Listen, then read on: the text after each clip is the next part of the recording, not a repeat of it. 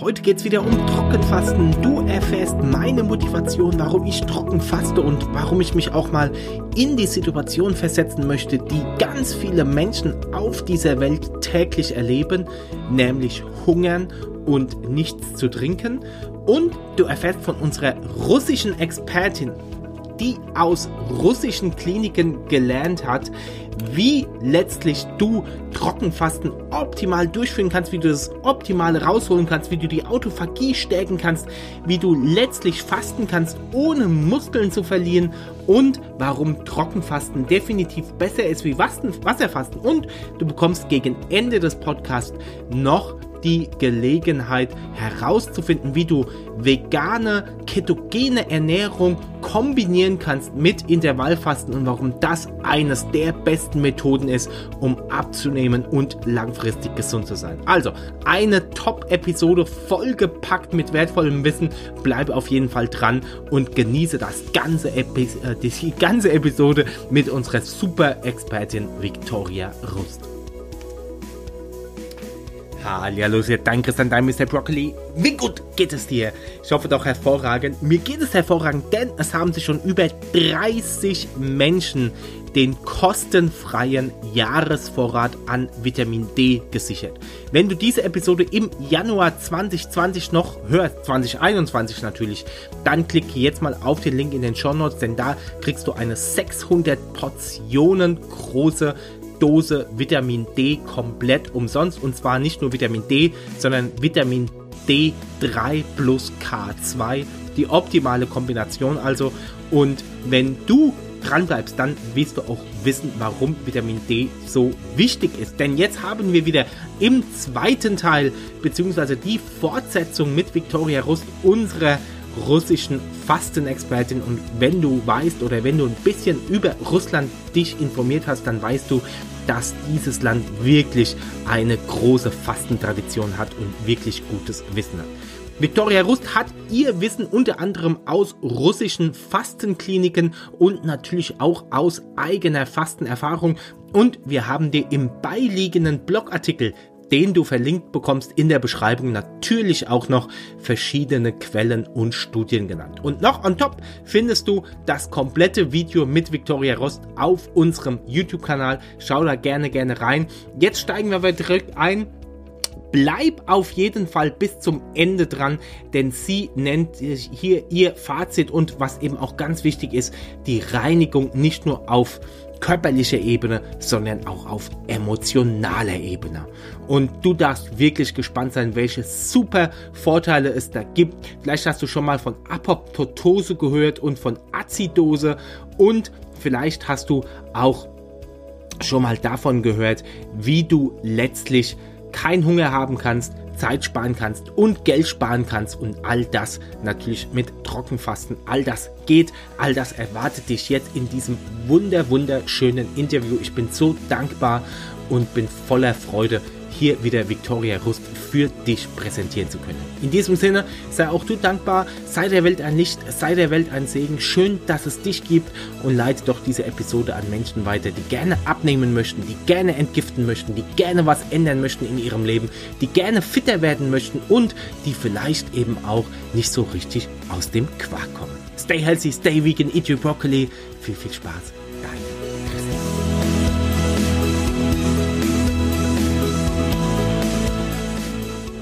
Autophagie hast du angesprochen, ein wichtiger Punkt, der ja generell beim Fasten auftritt. Also dass äh, quasi der Körper in einen ähm, Zellreinigungsmodus geht und da halt vor allem die nicht funktionierenden oder toten Zellen eben hauptsächlich abbaut, was er eben nicht ja. tut oder nicht so gut tut, wenn er quasi immer damit belastet ist oder damit beschäftigt ist, ähm, Nahrung zu verdauen. Äh, auch das ist ja schon wissenschaftlich bewiesen. Inwiefern ist denn aber jetzt, äh, und das ist ja eine der Hauptfragen, da das Trockenfasten absolut effektiver, weil ähm, Autophagie ja auch auftritt, wenn du beispielsweise nur Wasser trinkst oder sogar schwarzer Kaffee soll sogar die Autophagie stärken. Also inwiefern muss ich jetzt Trockenfasten ähm, und, und ist da tatsächlich ein stärkerer Autophagie-Effekt da als wie beim Wasserfasten?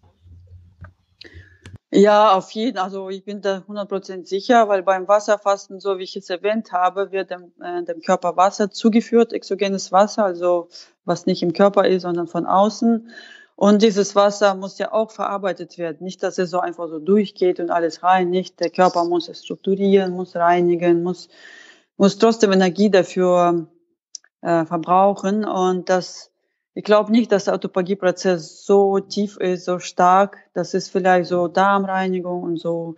Aber die Krankenzellen werden nicht, ähm, also bei, was beim Trockenfasten gut ist, dass die Zellen kein Wasser bekommen und die fangen an, selbst Wasser herzustellen. Und die ganzen schwachen Zellen, die überleben einfach nicht. Die werden dann aufgefressen. Und wenn du Wasser zuführst, das ist ein ganz anderer Prozess dann. Und beim Kaffee, da weiß ich nicht, ja, ob da so eine Autophagie stattfindet. Also ist es tatsächlich so, so dass, die, dass die Zellen Wasser herstellen oder dass der Körper aus den toten und nicht funktionierenden Zellen und unter genau. anderem aus den Fettzellen ähm, das Wasser rauszieht, was dort drin ist? Oder ist es beides? Ähm, ja, also Fettzellen, das ist die, die beste Hauptquelle wahrscheinlich. Und dann die normalen, also die ganzen anderen Zellen fangen dann an, ähm, so selbst irgendwie zu kämpfen und um, um das Wasser und die, die ganzen Kranken, die schaffen es nicht. Deswegen wird das alles aufgeräumt. Und das ist der Unterschied, glaube ich, zu dem ähm, Wasserfasten, dass dieser Prozess dann nicht stattfindet. Vielleicht findet das irgendwann statt, aber es ist schon ein ganz anderer Prozess. Habe ich so von, von kann, kann ich von eigener Erfahrung sprechen. Äh, beim Wasserfasten, ich habe sehr viel Muskeln abgenommen. Ich weiß nicht, was da passiert ist. Muskeln, die ganzen Mineralstoffe aus den Haaren. Das ist halt so, so schlimmen Haarausfall hatte ich danach. Und äh, mein Körper war so wabbelig. Und danach habe ich sehr viel zugenommen auch äh, irgendwas lief da schief und beim Trockenfasten meine ganzen Muskeln bleiben. Es geht nur wirklich Müll. Die ganzen Fettrollchen, irgendwelche äh, so wabbeligen Stellen, das alles weg. Da bleibt nur leanes Muskelgewebe und wenig Fett und auch irgendwelche komischen so Sachen, so die der Körper nicht braucht, die ist alles weg. Ich sehe da sofort, dass der Körper so unnötigen ähm, unnötigen Müll dann aufbraucht. Ich glaube, das ist so ein so wirklich Unterschied.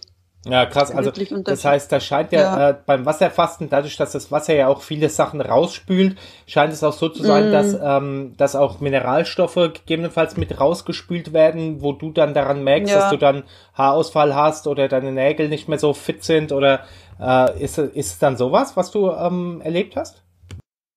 Ja, ja, das habe ich erlebt. Irgendwie was, da ja anders. Was sagt denn, ähm, was sagen denn die russischen äh, Quellen dazu? Weil äh, in Russland ist ja auch das Wasserfasten ähm, sehr berühmt und sehr beliebt, vor allem die äh, zwei bis drei Wochen Variante, also die wirklich lange Variante, wo dann teilweise auch äh, schwere Krankheiten damit äh, damit behandelt werden.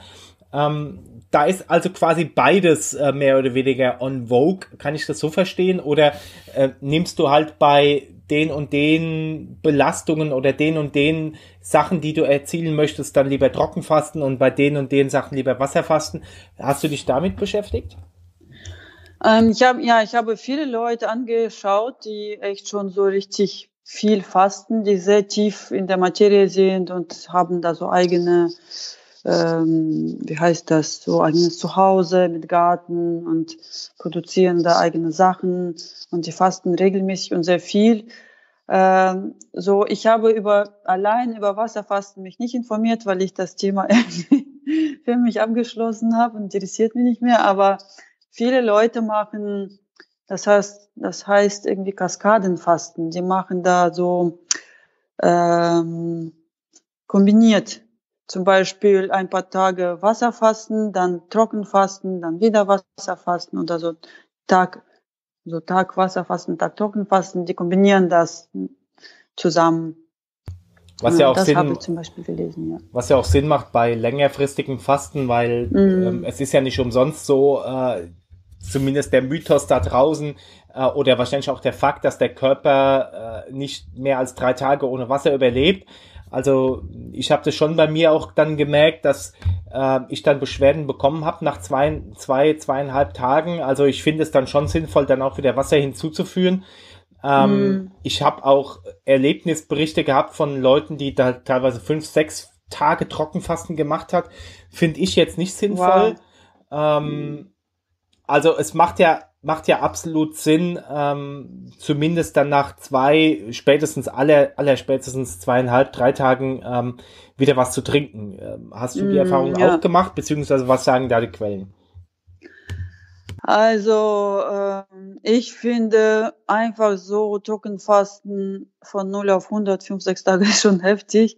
Ich, also ich will Wasserfasten auf gar keinen Fall schlecht machen. Das ist ein sehr wichtiger Schritt auf dem Weg zum Trockenfasten. Ich denke, jeder sollte Wasserfasten machen, vielleicht nicht so lange, aber äh, das ist schon sehr wichtig, das zu machen, weil ähm, Wasser ist ja auch Reinigungsfaktor und das ist wichtige Stufe, weil nach dem Gesetz der biologischen Zweckmäßigkeit dann benötigen Zellen ein Minimum eigener Energie und ganzen Toxine, Stoffe und Gifte werden verdünnt, aus Zellen ausgeschwemmt das ist sehr wichtig auch auf dem Weg irgendwo, finde ich.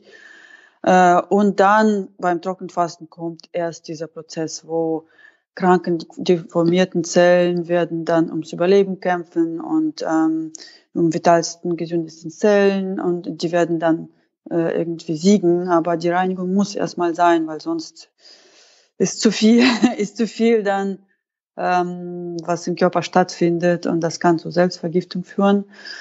Ähm, so, was wollte ich jetzt sagen? Du hast auch bei dir im, du hast auch bei dir im, im, in deinem Erfahrungsbericht oder in deinem ja. Blog über Apoptose gesprochen. Habe ich das richtig ausgesprochen? Genau. Was genau, genau. ist das? Ähm, ehrlich gesagt, ich denke, das ist fast dasselbe wie Autophagie. Ich habe irgendwie Stunden recherchiert, um die, äh, den Unterschied zu verstehen und irgendwie immer noch denke, das ist ziemlich das Gleiche, oder? Was denkst du?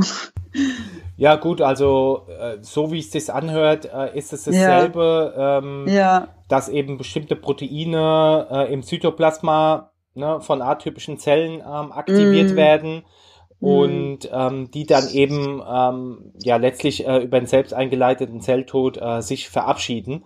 Also genau. es ist ähm, ja, es ist sehr, sehr ähnlich zu dem, deshalb habe ich jetzt auch nochmal nachfragen wollen, ähm, genau. was, da der, was da der Unterschied ist, äh, mehr oder weniger. Ne?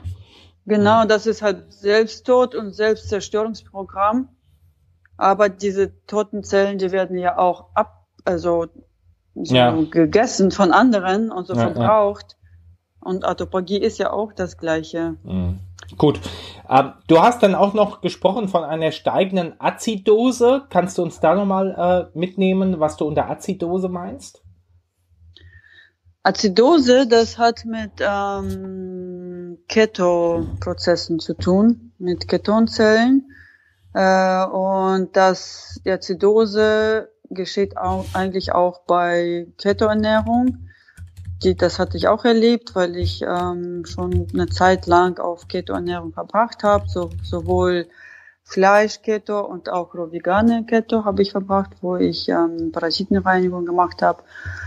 Und ja, diese Azidose, das ist dann ganz anderer Level von Energieverbrauch, wo, siehst du, ich habe gerade recherchiert und das auch irgendwo gelesen. Ja, wo die Keton, wo dann quasi die Ketonkörper ähm, hergenommen werden, um Energie genau. äh, zu verwenden, äh, ne? also die Fettzellen äh, quasi als, als Fett, äh, als, als hauptsächliche Energielieferant äh, genommen werden, statt eben Glykogen oder ähm, Kohlenhydrate, die direkt äh, zugeführt werden. Genau, und das ist ganz andere, das ist ganz andere Art von Energie und der Körper erholt sich so quasi von diesen ganzen Verarbeitungssachen. Und deswegen bei Ketose entstehen so viele, das ist auch so faszinierend, entstehen so viele auch Ideen und irgendwelche man fühlt sich so kreativ und ja, das ist ganz tolles, tolle Prozess und Azidose, das äh, geschieht auch beim Trockenfasten, wo die Leute anfangen, zum Beispiel keine Angst zu haben, weil diese ganzen Angstzustände aufgelöst werden und äh, du fängst an, ganz anders zu denken und irgendwie so Sachen anders wahrzunehmen. Das ist, das ist auch, was ich so liebe beim Fasten oder nach dem Fasten.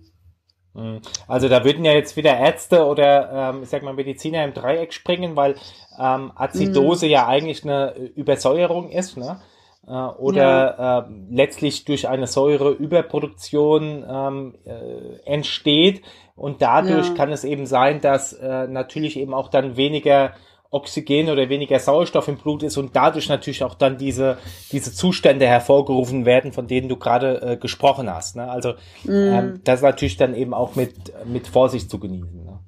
Oder siehst du das anders? ähm, ja, ich denke schon, dass man die Azidosen, es gibt so Wellen von Azidose, glaube ich, so nach drei Tagen und fünf Tagen oder so beim hm. Trockenfasten. Es gibt so Krisen, ich glaube, da, wo die Azidose am höchsten ist und man sich am schlimmsten fühlt, wahrscheinlich hast du das gemeint, ja, dann habe ich wahrscheinlich was anderes gemeint. äh, ich habe so Keto Ketose gemeint, aber Azidose, ja, es gibt so azidosische Krisen nach drei, fünf oder sieben und elf Tagen vom Trockenfasten und da fühlt der Körper sich am schlimmsten und dann muss man das überwinden und danach, wo der Körper das alles verarbeitet hat, wird es so eine Stufe weitergehen und man fühlt sich dann noch besser. Aber ja, das, ähm, das geschieht. Aber ich, ich rate nicht so weit zu gehen bis azidosische Krise, ähm, so mehr als drei Tage. Dann fühlt man sich richtig schlecht. Gut, also da würde ich, ich jetzt auch nicht gefährlich. Reingehen, ja. Genau, ohne, ohne ärztliche oder ohne das Heilpraktiker das beobachtet, das ist schon nicht gut, ist gefährlich, würde ich auch nicht empfehlen. Also Maximum drei Tage, aber am besten 36 Stunden. Das ist das Beste, regelmäßig. Der Körper kann sich regelmäßig reinigen und dann gibt es keine Krisen, gibt es keine Azidosen. Gut. Ah, ja, das ist am besten.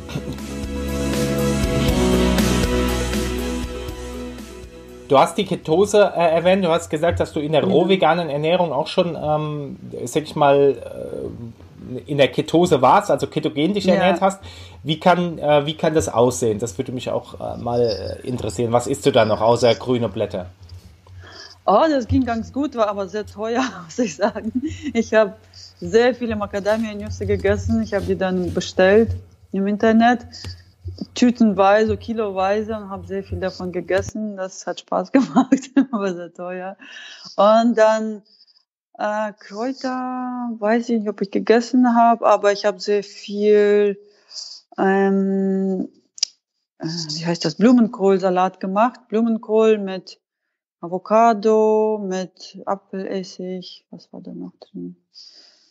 Vielleicht Grünzeug war auch drin, aber das hat mir richtig gut geschmeckt. Und was ich noch gemacht habe, ich hatte Lust auf Süßes, äh, so eine, so Pralinen, so mm, Eiweißpralinen mit Leinsamen und äh, Sunwarrior-Protein und Xylit.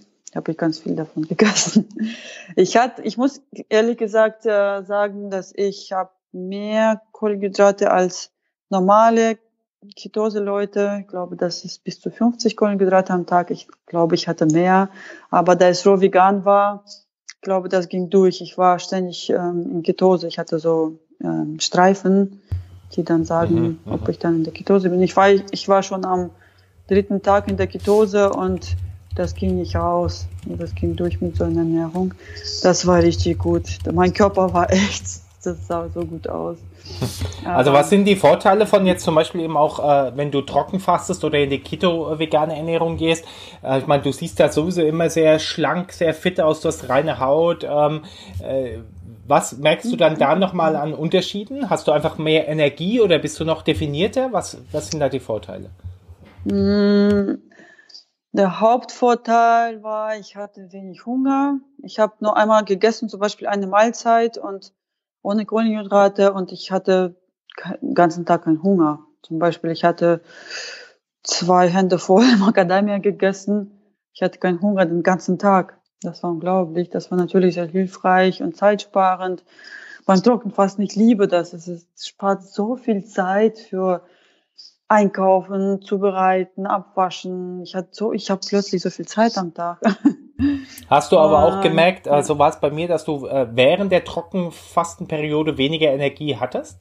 Also äh, ich war dann mhm. quasi mental und körperlich natürlich nicht so effektiv.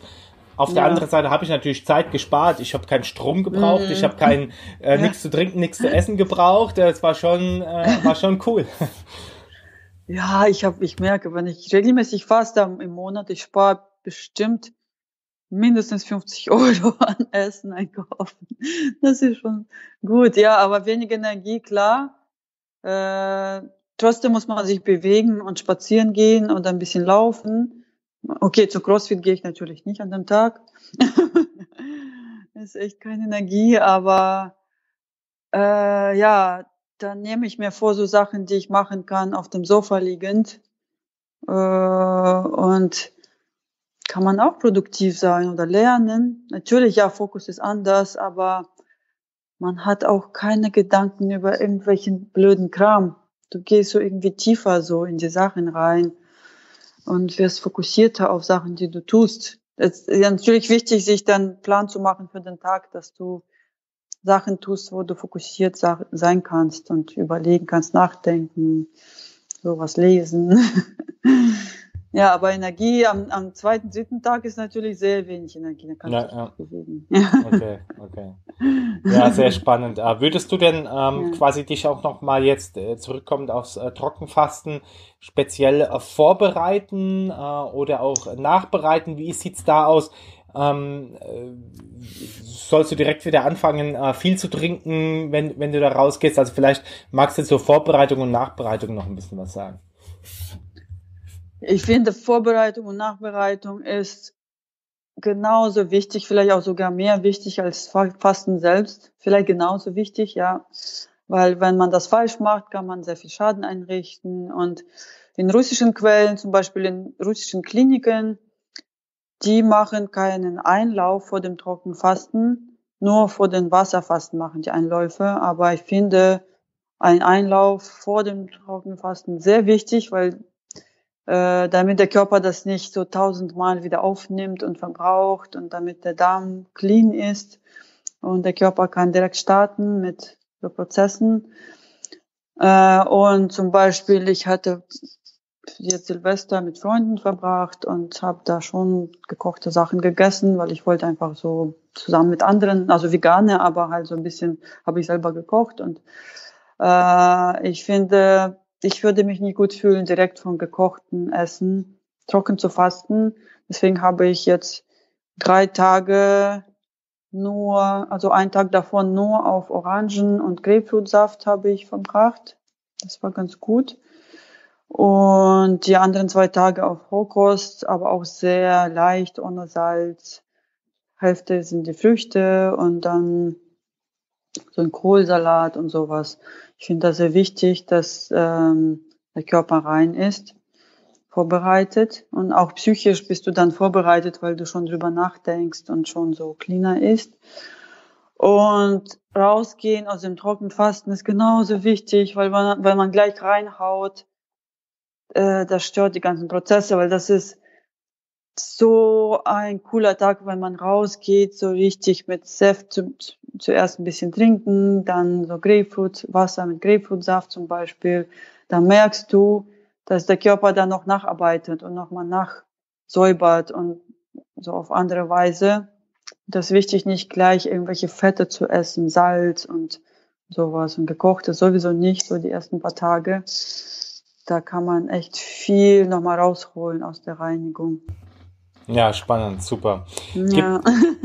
Gibt es irgendwas, was du auf jeden Fall jetzt noch, ähm, noch, noch dazufügen äh, würdest? Oder würdest du sagen, hey, ähm, Trockenfasten, wie gesagt, nur diejenigen ausprobieren, die schon Fastenvorerfahrung haben, die eine, einigermaßen schon eben auch auf ihre Ernährung achten, nicht äh, von, von 0 auf 100 und schon gar nicht von der gekochten, fleischlastigen Ernährung äh, direkt in mm. das Fasten gehen. Also wenn, wenn wir das mal so zusammenfassen, sind es wahrscheinlich so die wichtigsten Punkte. Ne? Also ich nehme an, dass die Leute, die dich hören, dein Podcast hören, die sind eh schon entweder vegan oder vegetarisch oder interessiert an veganer Ernährung. Und ich kann mir vorstellen, dass die Leute, nachdem sie jetzt diese Folge hören und äh, ein bisschen recherchiert haben, natürlich sind die total begeistert und wollen Trockenfasten machen, weil das so viele Vorteile bringt.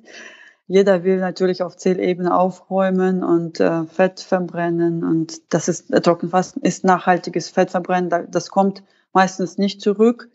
So, es kommen meistens keine Fressattacken oder was verbrannt ist, ist verbrannt. Und ähm, ich würde raten, mindestens einen Monat vegan zu leben. Das wird auch gut tun, so auf lange Sicht und erfahrungsmäßig. Und dann, wenn, wenn die Leute jetzt nicht wirklich lange warten wollen, so monatelang, bis sie Trockenfasten machen wollen, vielleicht so einen Monat äh, vegan leben. Veganery ist ja gute, jetzt gute Grund. ist ja überall jetzt in Social Media. Und vielleicht drei Tage vorher Säfte und Wasser fasten und dann einen Tag Trockenfasten anhängen. Das wird eine mega Reinigung sein und mega Erfahrung und dann macht man alles richtig. Das würde ich empfehlen. Ähm, ja, wegen jetzt plötzlich Trockenfasten machen, das ist jedermanns Sache, aber das wird nicht so, ja, irgendwie nicht so effektiv sein wie, cool. wie vorbereitetes Trockenfasten. Und ja. ja. mehr als drei Tage auf jeden Fall mit Heilpraktika, mit Beobachtung, äh, auf so oder auf eigene Gefahr halt, weil wir, was wir jetzt reden, das ist unsere Erfahrung. Wir empfehlen das ja nicht jetzt gleich reinzuhauen und äh, wir reden nur dass es gut ist, wenn, wenn man das richtig macht. Aber wenn man das nicht richtig macht, das ist dann natürlich jedermanns ähm, Sache, ob die das machen.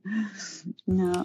Super, vielen lieben Dank, liebe Victoria, für die ganzen coolen äh, Infos. Wir verlinken natürlich hier eben auch die äh, Quellen, die sie auch öfter genannt hat. Äh, und auch verlinkt ist natürlich mein Erfahrungsbericht sowie Victorias Erfahrungsbericht zu Trockenfasten auf ihrem Blog, auf meinem Blog. Also da darfst du auf jeden Fall gespannt sein. Und ein spezielles Video von mir ist natürlich auch noch verlinkt. Liebe Victoria, vielen lieben Dank, dass Ach, du dabei cool. warst und äh, dein, äh, dein extremes Wissen hier geteilt hast. Äh, wie du sagst, du machst äh, extreme Dinge und dazu gehört wahrscheinlich eben auch äh, Trockenfasten.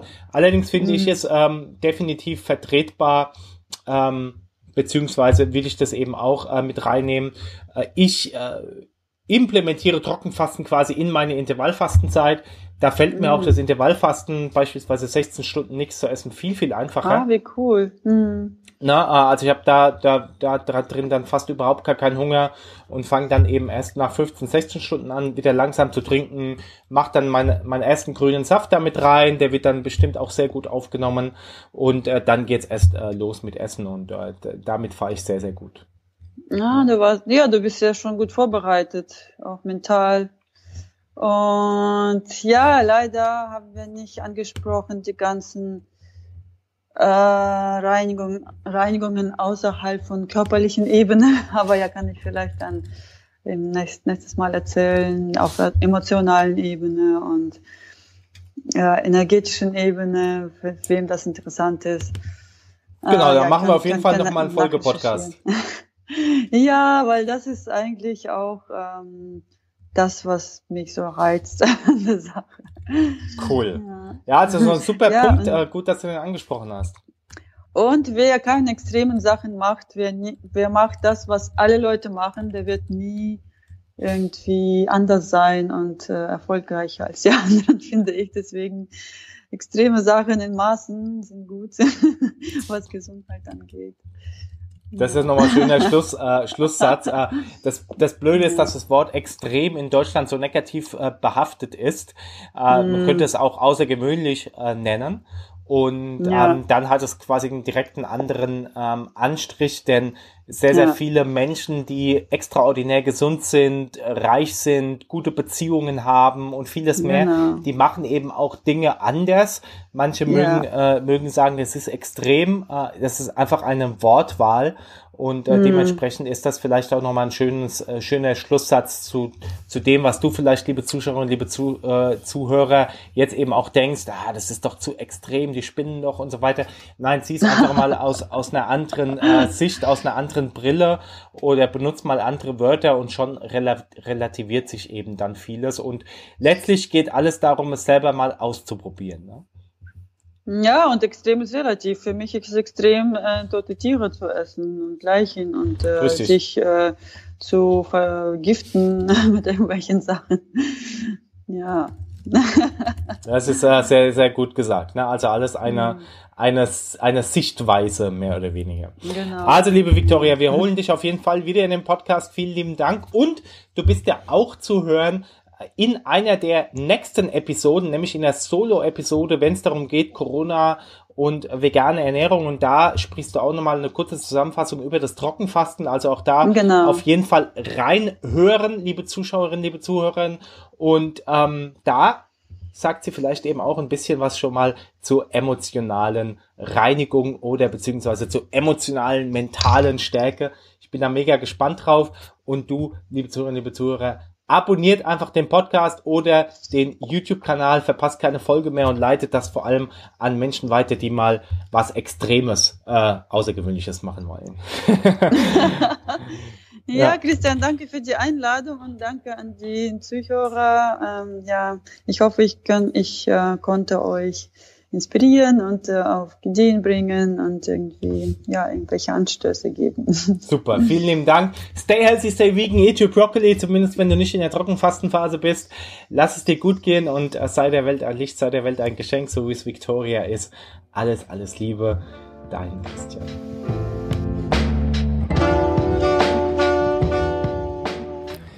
Wusstest du, dass wir drei Episoden in der Woche veröffentlichen im Vegan Podcast. Wenn du keine Episode verpassen möchtest, vor allem die neuesten News rund um die vegane Ernährung, optimale Fitness und deine strahlende Gesundheit sowie dein tolles Aussehen nicht verpassen möchtest, dann abonniere jetzt diesen Podcast. Du kannst das in iTunes mit Apple Podcasts tun. Du kannst das natürlich in Google auf deinem Android-Handy tun mit Google Podcasts. Du kannst es in Spotify tun und wo auch immer du möchtest. Verlinkungen dazu findest du in den Show Notes und vor allem teile diesen Podcast mit deinen Liebsten, denn ich glaube, es ist für jeden immer mal etwas dabei. Vielen lieben Dank, dein Mr. Broccoli.